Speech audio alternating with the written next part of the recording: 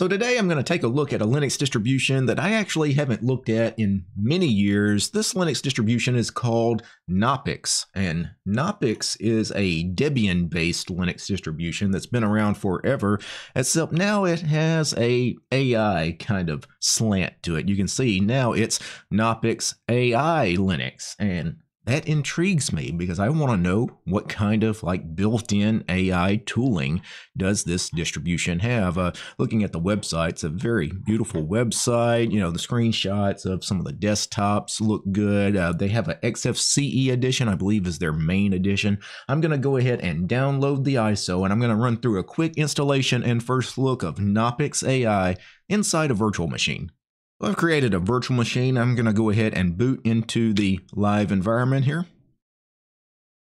And we're in the live environment. Of course, this is the XFCE desktop environment. And looking on the desktop, I do not see a link to the installation program, and I'm not seeing any links to the installer into the taskbar either, so we're probably going to have to go in the menu system and search for install. Yeah, here it is, install Gnoppix. And it launches the familiar Calamares installer. So let's go ahead and run through the installation. So I'm going to choose uh, next here. Now, time zone, it did not correctly choose the central time zone in the US for me. So uh, typically, the Calamares installer does get geolocation right, but it did not in this case. But I can correct it by just clicking on the map, and now I click next.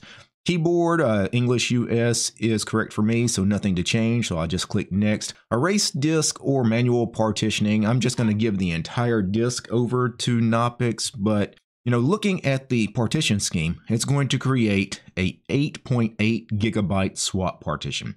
I can't do that. I gave this VM 25 gigs of space. I can't give 9 gigs over to a swap partition. That doesn't make any sense. So normally I don't do manual partitionings on these videos, but today I'm going to run through the manual partitioning. So the first thing I need to do is I need to create a new partition table. It needs to be GPT because this is a EFI virtual machine. If it was a legacy BIOS, I could do MBR, but I need to do GPT.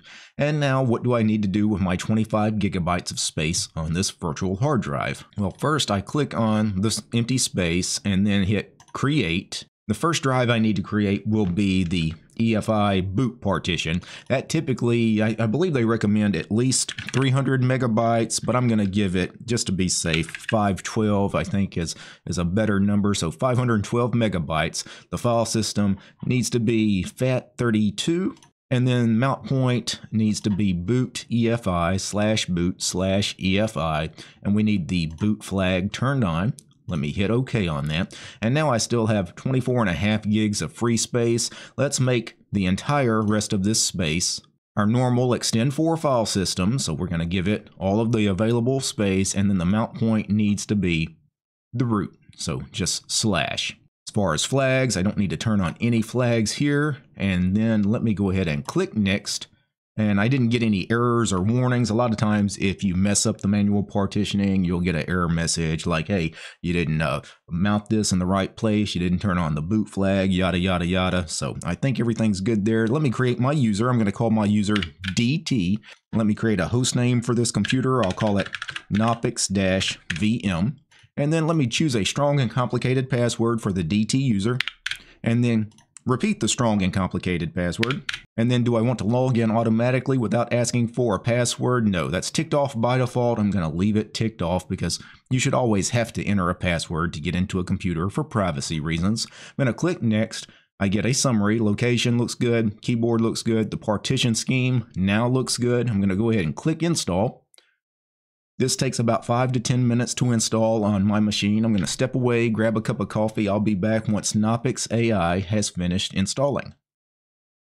And I stepped away to get my cup of coffee, and the installation of Gnoppix has completed, so we need to restart the computer. So I'm going to click Done. And we get a grub menu, so everything looks good here. And I've logged in to the XFCE desktop. I will say that the wallpaper, the icon set, the theming, everything looks really nice here. It looks sharp, looks professional, uh, a well put together desktop. But of course, I'm not really here to check out Debian with XFCE, right? Which is essentially what we're looking at, but I wanted some of the AI stuff. So I'm going to go into the menu system. I'm going to search for AI. And the first thing I get is Gnoppix AI Installer.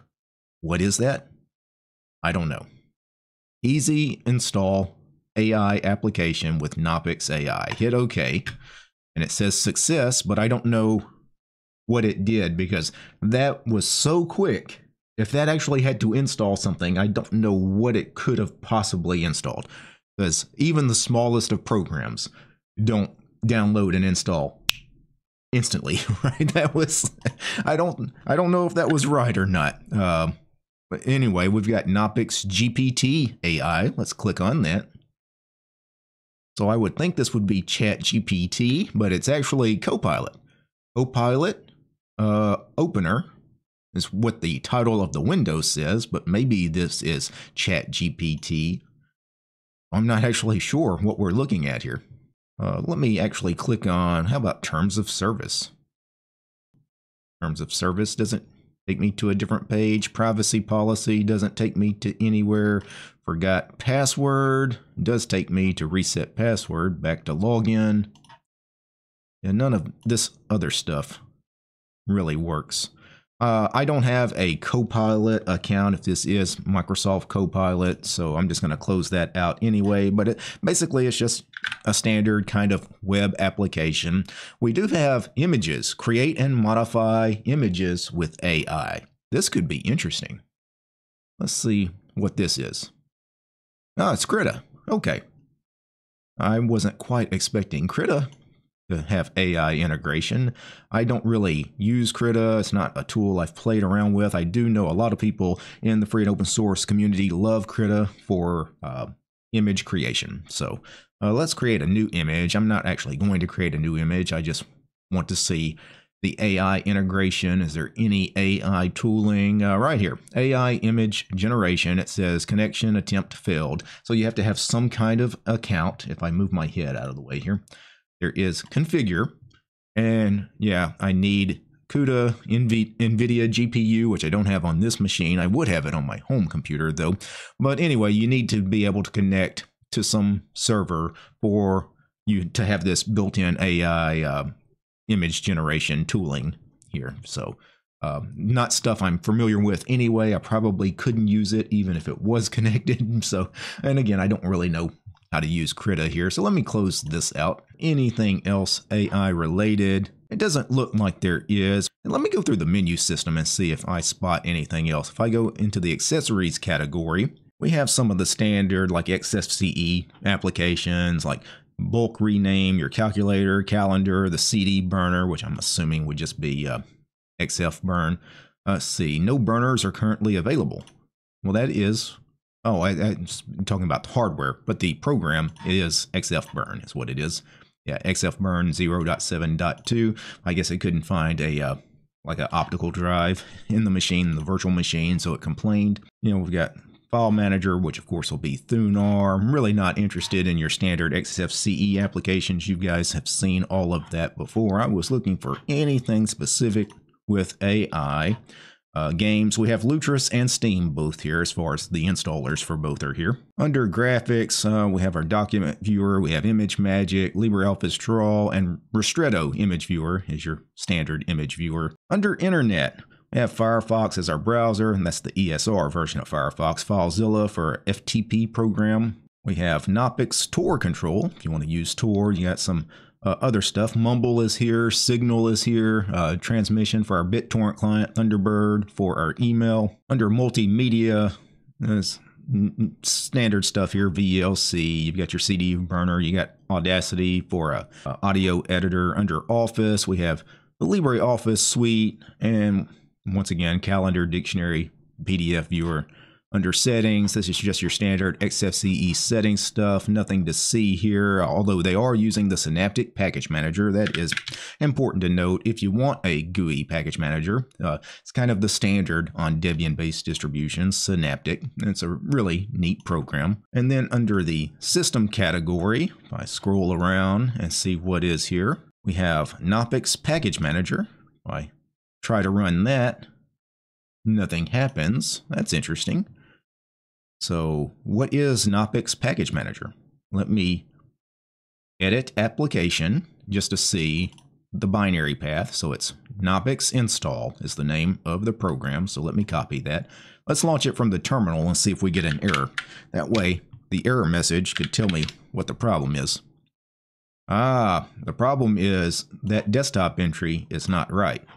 Uh, That's a bug. So Gnoppix Package Manager install, remove, upgrade software. That's probably supposed to link to something like the Synaptic Package Manager, but it's actually linking to the Calamares installer, which really shouldn't even be here after you've done the proper installation because this is very dangerous to leave on the system because you don't want people to run the installer again. It wipes out the machine, right? It formats the drive. People lose data if they accidentally run this, right? So yeah, this I'm pretty sure that is a bug.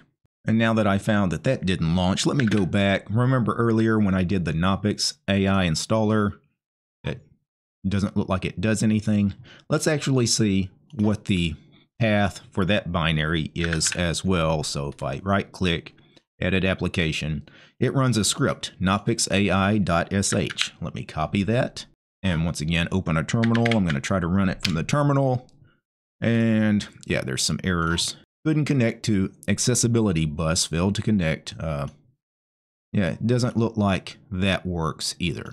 Looking for some other Gnoppix specific tools, uh, we have Gnoppix tools. Let's see what that is. Looks like you got some setup uh, assistance for high DPI, network assistant, uh, brightness, systray, tweaks. So you got some uh, ways to, I guess, tweak the desktop here. You got Gnoppix tweak which I'm assuming would allow you to theme, yeah, like the panel, set the themes, uh, what compositor, uh, display settings as well, all in one nice tool here. And that looks like about it for Gnoppix. Oh, we have one AI tool here. I guess I missed Gnoppix Diffusion. I'm assuming that's for stable diffusion, which is a way to uh, generate graphics using AI. Uh, it's not something I've played around with much, so I can't really do too much as far as creating images, but we have to agree to a license. Let's go ahead and hit continue. And then I'm going to hit continue again here and then share analytics or don't share analytics. Let's don't share. And then welcome to Stability Matrix. So Stability Matrix is, I believe, a package manager for stability diffusion type tooling. So let's go ahead and skip the first time setup. Uh, I have no idea what we do here. Probably add a package, uh, show all packages, sure. Uh, so uh, various stable diffusion kind of tools. Uh, for example, Comfy UI. I've seen screenshots of it. Don't know how to use it, but let's see if we can install it. Uh, yeah, let's go ahead and click install, and away it goes. Now I am in a VM, and depending on how much space some of these packages take, I could run out of space on the VM. But I don't know. This could be a tiny package. It could be a big package. We'll see. Let me go ahead and click on more details. Yeah, and that way I get the little terminal and I can see exactly what all it's pulling in here. All right, and that finished installing and the little pop-out window with the terminal, you know, went away as soon as it finished the installation. Now we get Comfy UI. If I click launch, we get another terminal. And I'm assuming this is going to launch us, uh, well, it should have launched in the web browser. Failed to execute the default web browser. So the problem here is not Comfy UI trying to uh, launch itself. And the problem is the default web browser, for whatever reason, maybe isn't set up properly, uh, where when I click the terminal, it doesn't know what browser to open. I'll manually click on uh, Firefox here in this case, and then enter the address. Uh, the address was uh, http colon slash slash 127.0.0.1 colon and then what was the port?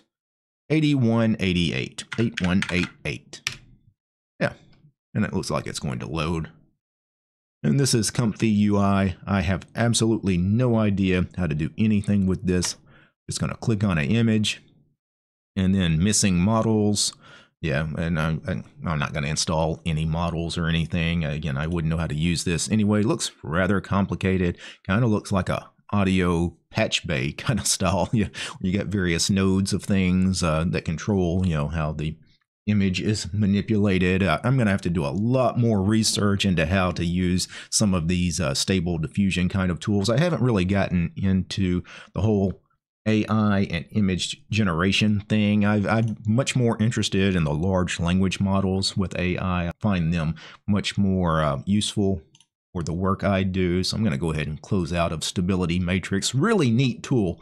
I'm glad that that is here. That's actually uh, you know, I, I, know some people are going to probably have some negative comments on this video about, oh, I don't need a distribution that has all this AI stuff built in. Well, you know what? These days, a lot of people are using stuff like ChatGPT, Copilot, and uh, stable diffusion like these tools for some people like it's a part of their daily work and having some of this already built into a linux distribution i think is pretty cool. I think it's if they get this right because right now it seems a little buggy uh, gnoppix ai right? But if they really get this thing working well i could see gnoppix being one of the distributions that kind of paves the way forward. It kind of leads the way in integrating AI in Linux. So there you have it, a very quick and cursory look at Gnoppix AI. You know, again, you know, I, have looked at this distribution many times over the years, you know, years ago, you know, before the whole rise of AI. And the fact that they're taking this in this AI direction, I think is a smart decision.